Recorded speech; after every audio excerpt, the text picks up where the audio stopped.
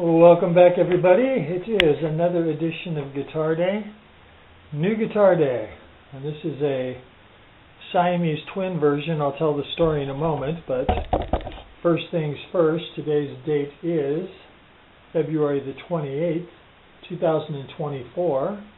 Normally this would be the last day of February, but of course it's a leap year, so we have February 29th tomorrow. So, the quick story about this guitar is, for some reason, this year has been the year of the budget guitar, and it basically started, and I mean guitars that I enjoy and that want to hold on to. So it basically started uh, with some IYV guitars that were blown out. I forget what the model number is, but it's their uh, emerald green Les Paul shaped object they were blowing those out on uh, eBay last year. They started out in the $120 range, and towards the end of the frenzy, I got a couple of them for $83 shipped to my house. And they were nice guitars. And I picked the one that I liked best, and I sold the other three, or four, I think, that came through my hands. So then the next guitar came along, and we went a little bit lower, and I think this might have been on the Monoprice website. It might have been through Amazon. I'm not sure, but they have an offset guitar, sort of in the style of a Jazzmaster, except that this is a HSS, a humbucker in the bridge, and two single coil pickups. And the model's called the OS20. And they had that available for $71 shipped to your door. And I thought, ah, oh, got to try it. And it actually turned out to be a pretty nice guitar. Had its own thing going, and and it was built well, and it sounded good, and so okay, we're on a roll. So then this new company that I'd never heard of before, called Gear-It, uh, I thought it was Gear IT, but everyone calls it Gear-It, showed up on Amazon, and they were having a blowout of a Les Paul shaped object for $64 shipped to your front door. I said, why not? I took a chance. I bought two of them. One of them was defective, so I sent it back. But the Sunburst one, P90 pickups, it's a bolt-on neck, which means nothing to me as long as it doesn't fall off. I don't care how the neck's attached. So then, this week, this guitar showed up. This is uh, a Monoprice Indio, and the model number or name is a Helix and it's sort of a junior shredder kind of guitar. It's not really the guitar kind of guitar I would normally buy, but shipped to my door. I got this for $35 brand new, so I bought two of them. So, without further ado, and the Journey uh, FedEx made sure to keep this a mind-numbing adventure for some reason, whenever my guitars go through Billings, Montana, the barcode is unreadable, and I have to replace it. It seems like no big deal, just replace it, but it, for some reason, it loses a day in shipping because of the barcode debacle. But anyways, here it is. And as noted in other videos, keep in mind that with monoprice guitars, you get a pretty decent gig bag. And I mean, honestly, if you were to actually try and buy this gig bag, I'd be willing to bet you'd pay minimum $20, probably $30. So I guess I bought a gig bag for $30 and they threw in the guitar. Uh, this is interesting. I wonder what this is. A piece of plastic must be from hmm, the only plastic I can see on this is the straps. Oh well, I'm sure it will be revealed. And uh, kudos to uh, Monoprice. They actually bought a tape gun for their shipping department. Usually when I get Monoprice guitars, they're literally just falling out. Okay, Behold, the helix. We should have just gone for it and called it the Felix. The other thing I thought was funny too, just to mention, I've never seen this on any guitars that I've ever gotten. Caution, heavy object. Which is sort of odd because this guitar does not feel excessively heavy at all. And FedEx listed the shipping weight at 10 pounds, so that's including the box and the dimensional weight. And a couple people that have gotten this guitar before me have commented that the guitar was in the seven pound range, so I'm not sure what it what it means. Oh, it's a satin neck. See, they didn't really put that detail in there, so that's an interesting detail. Says that it has D'Addario EXT strings, coated strings. Yeah, if that's a flame, they did their best to hide it. Cause I don't see no flame, but it still looks pretty cool. So yeah, the uh, hyperbole, which I'm gonna laugh. I'll read it to you when I come back. I just want to pop it out of the box and take it for a test drive. But the report from other people is that the fret ends are sharper. Yeah, these are definitely sharp. So the the blurb on the the action's not too bad. The blur oh these are pitifully sharp. I'm gonna take a file to this immediately before I can try and play it.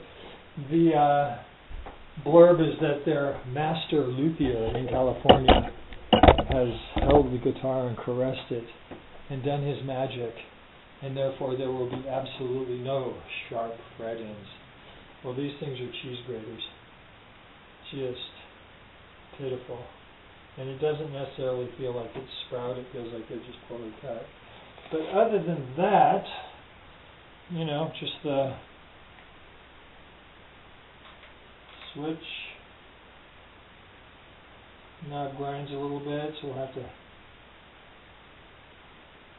figure that out. Other people have talked about that too. Action's not too bad.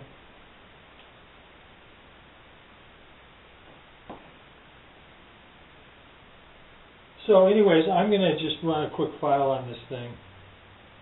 Even if it gets sent back, it, it might as well go back with the benefit of having having been filed. So we're going to go play it, plug it in, see, we'll be back, and then we'll do number two.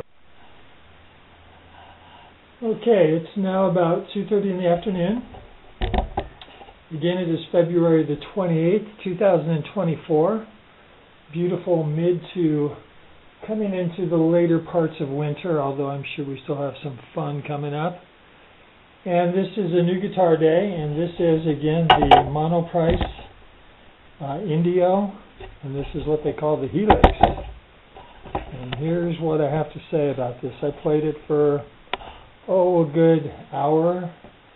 Um, I spent about 35 minutes filing the frets. This guitar by far had the sharpest fret ends of any guitar that I've ever not only owned but held in my hands. They could have called this the lethal weapon model if you were in a bar fight and you broke the neck off this guitar and you used the neck as your weapon, the frettings were so sharp that you'd be drawing blood. When I first picked the guitar up, fortunately I had a very light touch as I ran my hand up the side of the fretboard. There were some burrs there that were just absolutely waiting to draw blood. Fortunately, none of my blood was drawn, but a warning to anybody um, I, I mean, again, I have a couple thoughts about this. First of all, this I have no idea how old this guitar is. It may be a five-year-old model that's been sitting in an unclimatized warehouse, and the fretboard is shrunk. But even then, the sharpness of these frets was not just due to shrinkage of the fretboard. It was just they weren't finished. And the only reason why I even go out of my way to say something is again, Monoprice just stuck their foot not only in their mouth, but all the way down their throat by the marketing department's hyperbole about how this guitar was in the hands of their skilled California luthier. And then they went down the list of specifics, how each fret end was filed carefully to ensure absolutely no sharpness. I mean, you know, that's like dishonest if if he didn't do it, and clearly he didn't, or she could be a female luthier. And that just comes back to bite you. And so here's my other thought about that. And you know, life is really has ironies about it. And one of the ironies of life is, I'll give you an example. If you are a struggling musician and you have to play the worst equipment because you can't afford to get anything better, and then if you're one of the lucky few that make it up to the upper echelon of the music industry, and you're successful and you have plenty of money, then the guitar and the amp and the equipment companies come out of the woodwork and want to give you everything. But you don't need it because you have money. And the example that I'm going to apply to this is that when you're talking about an entry level guitar, which this is, there's certain things about a guitar that you have to get right because the person that's going to buy this is not going to be guitar tech savvy, most likely.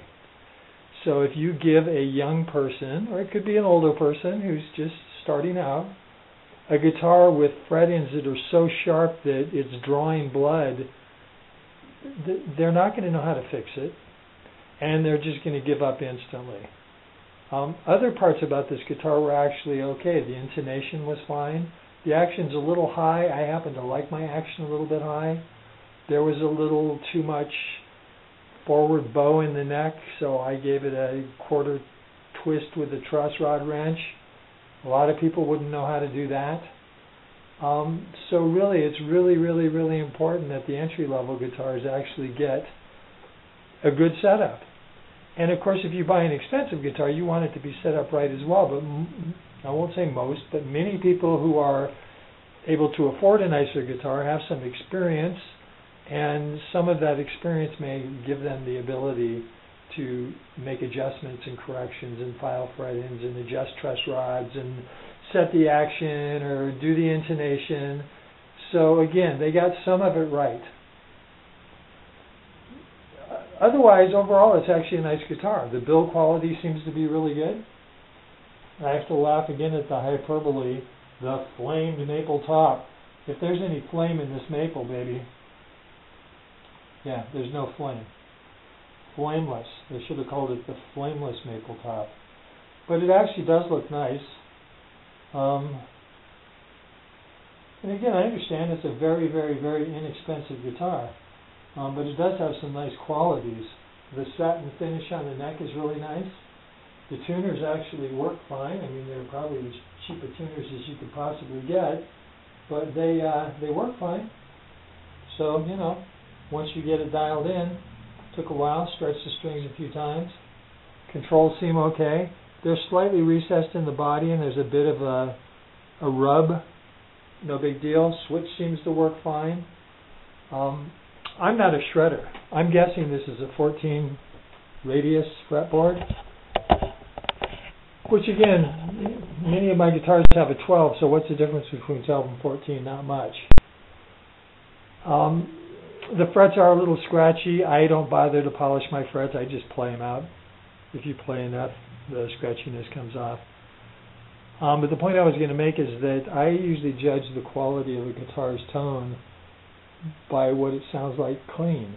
And so I ran this through just like a Fender. I've got a modeling amp, a Fender amp with a little bit of delay and a little reverb.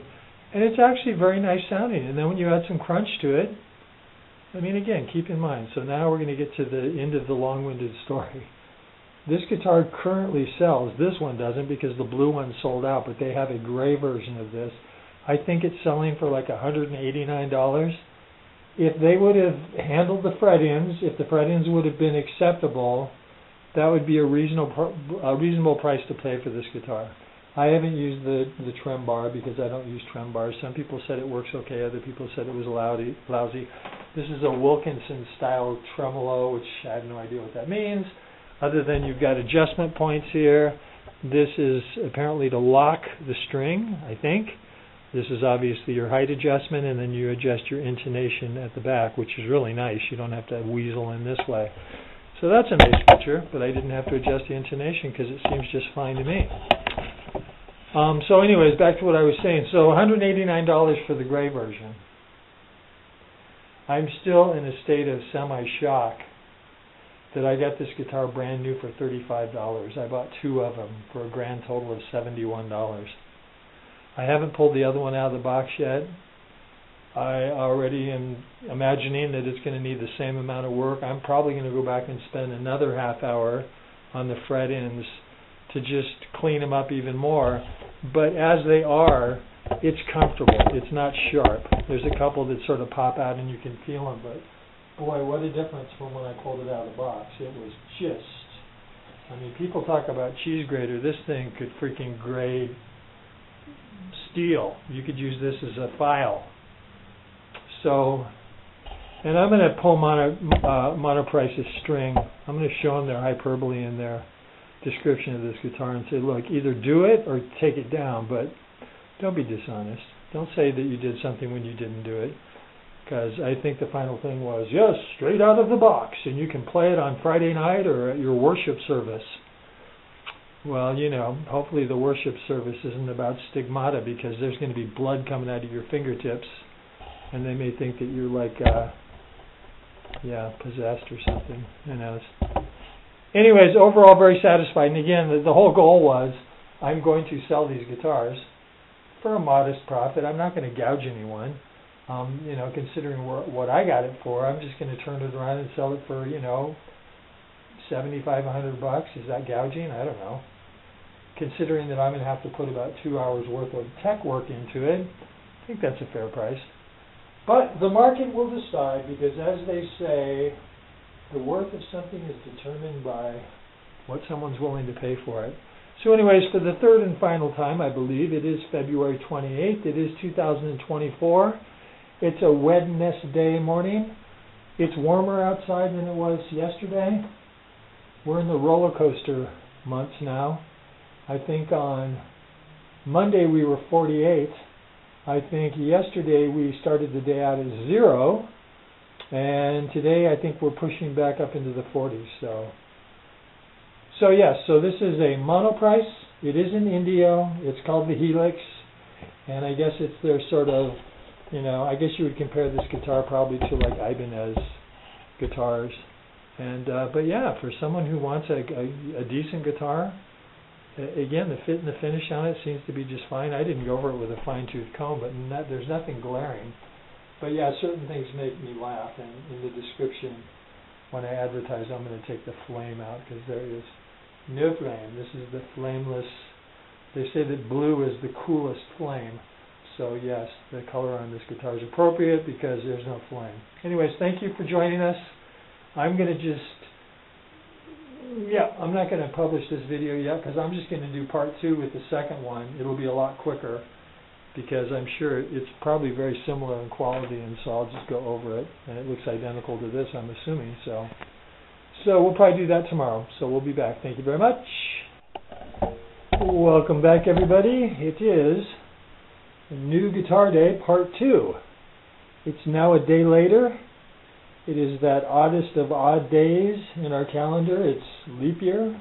So it's February the 29th, 2024.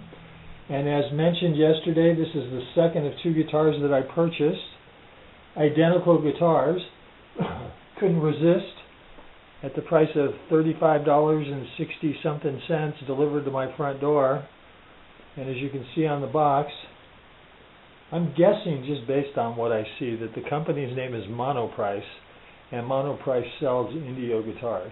So this is a Monoprice Indio guitar and again this is the Helix model. It's sort of the entry level budget shredder style guitar sort of modeled after Ibanez style guitars with the, uh, I believe it has a 14 inch radius fretboard, which I have no idea how that benefits the shredder, since I'm not a shredder. But uh, just so we can see, here's yesterday's guitar right here. And uh, overall, it turned out to be pretty nice. its weakest issue was the absolute abysmal sharp fret ends, which I'm expecting an identical experience here. Hopefully that's the only issue. And we also had a broken buckle on the strap of the gig bag. So I've notified Monoprice. And we'll see what they want to do to this. I'm guessing, yes, this is called the buckle right here, which I learned yesterday. So I need to get a new buckle. These seem to be in fine shape. So without further ado, we shall free the helix. And it looks to be an identical situation to yesterday. Truss rod, rod tool, a trem bar. I just know those fret ends are going to just be absolutely brutal. Which again, I won't repeat the whole story, but it just makes me laugh because they go out of their way to their marketing department to extol the virtues of the master luthier who hand does. Well, this one's got a little more flame on it. I call the other one my flameless model, as it had no flame at all. This one does have a hint of flame. Again, do these things matter? No. But when they go out of their way, oh, interesting, because the other one had no no plastic on the middle pickup. So it may or may not have been a return. Oh yeah, sharp is just, you could kill someone with this neck. So that's obviously an issue that needs immediate attention. One guy who got one of these mentioned that his neck pocket was really bad. This one feels good. Switches. These tend to rub, I don't know why. They're sort of recessed in the body. A little bit of smuts there. They don't charge extra for the smuts. Yeah, this actually has some nice flame on it. So this is the flame model. So it has some flame. And they have the most interesting serial numbers. They're like buried in the neck feels good. Yeah, it's got some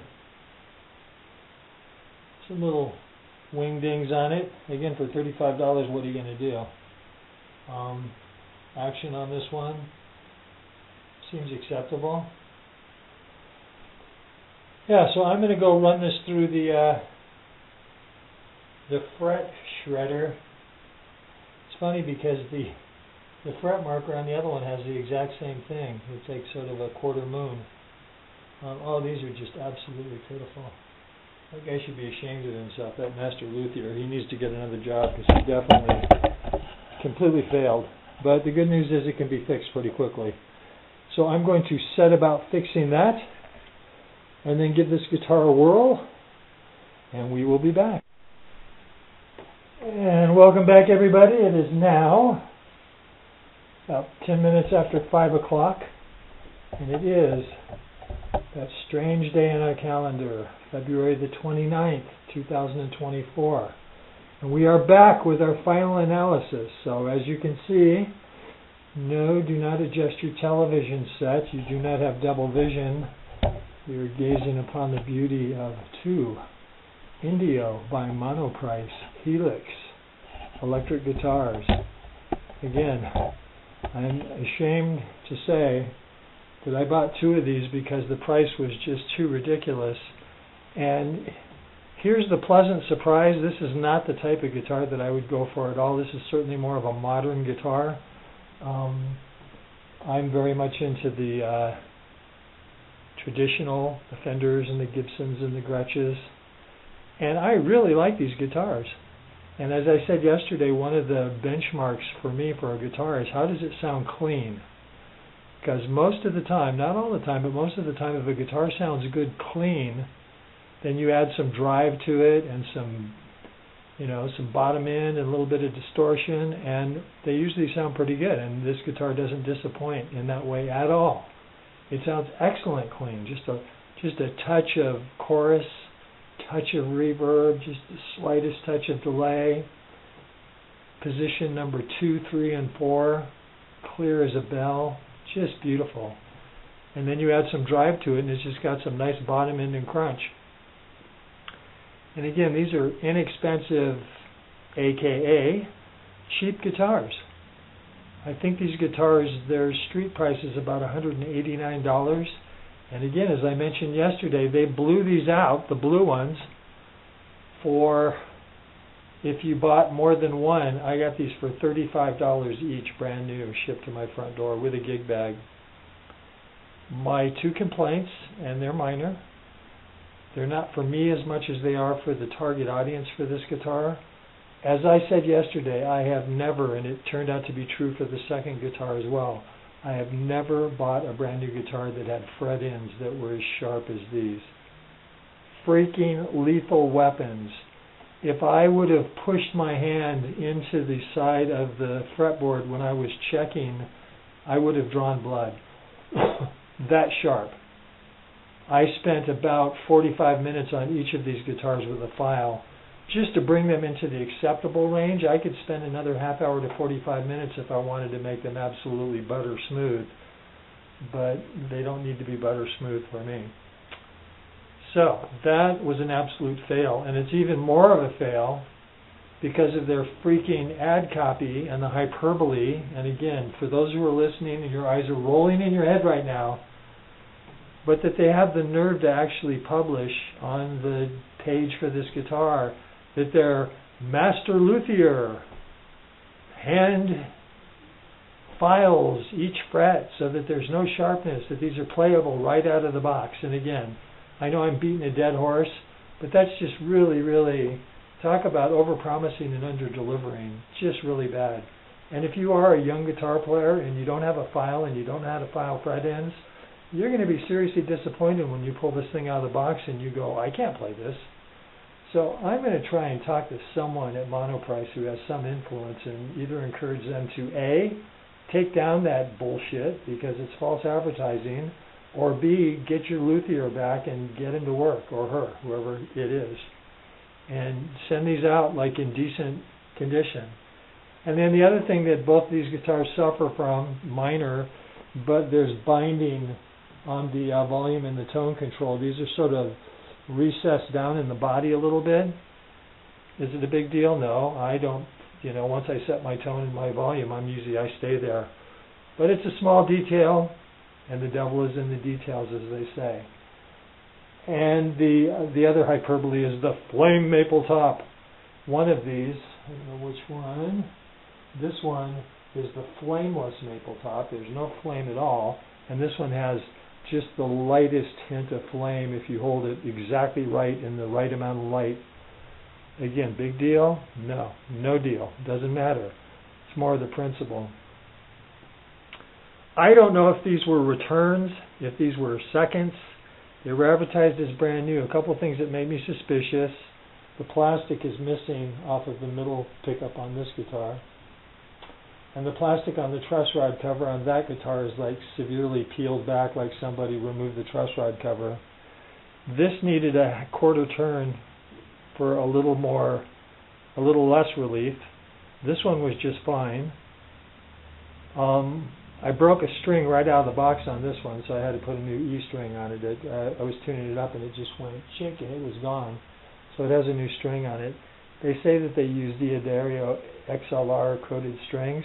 I can say that unlike many budget guitars, I did not get the black finger syndrome. The frets could be polished a little better, but again, I'm cheap and I'm lazy, so I just play out the scratchiness on the frets. I would never have an occasion to use the Wilkinson style trem, so I have no idea how well it works or doesn't work. A few people in some videos, some work better than others. Um, if you were just to use, you just do a light shimmer, you probably would stay in tune. I did put graphite in the slots of the nut, so if I ever did that. But surprisingly enough, my original plan was to sell both of these, and I may very well end up keeping one of them, at least for a while, because again, I really like the way it sounds. And I like the way it plays. And now that I've invested some of my sweat equity into getting the uh, edges of the frets in decent shape, I'm more inclined. But I am going to let them know that I was not happy to get guitars like that. Not at all. And it wasn't just your typical fret sprout with change of season and humidity. These were just really, really, really poorly finished. And they had burrs on it that, that yeah, literally. Again, my nickname for the neck of these guitars is lethal weapon. If you use this as a weapon, you'd hurt people. So, anyways, we're going to wrap this up because I'm sure you're starting to go into a coma. We have another new guitar coming. It wasn't a planned guitar. It was another what a deal. I really, really, really like my Gear It Les Paul with P90 pickups. And they've been advertising, they've now got a thin line Telecaster that has an interesting combination of a humbucker pickup in the bridge that's coil split and a P90 in the neck position. And I just, yeah, and they're selling them for 88 bucks, shipped to your door. Their gig bag is not quite as substantial as Indio, but they, it comes with a gig bag, and their little goodie pack is much more substantial than anyone else. Yeah, it's inexpensive stuff, but you get a tuner, you get a pack of strings, you get a decent cord, not like the crappy cords that most companies send you, and then you know your truss rod tools and some picks and stuff. We'll see. You know, again, the good thing about Amazon is is that if you don't like it, you can send it back. I try not to be abusive of that policy. Um, and I'm planning on keeping it. And if I do and I don't like it, I'll just sell it to someone else.